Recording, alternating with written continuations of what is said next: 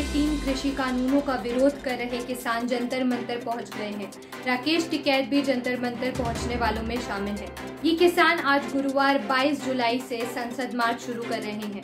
भारी सुरक्षा के बीच किसान जंतर मंतर पर अपनी समानांतर संसद लगाएँगे और सरकार के खिलाफ विरोध प्रदर्शन दिल्ली के उपराज्यपाल अनिल बैजल ने 9 अगस्त तक प्रतिदिन अधिकतम 200 किसानों द्वारा प्रदर्शन की विशेष अनुमति दे दी है।